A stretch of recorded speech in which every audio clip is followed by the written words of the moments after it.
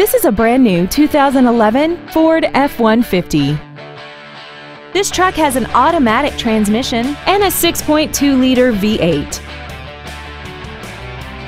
All of the following features are included.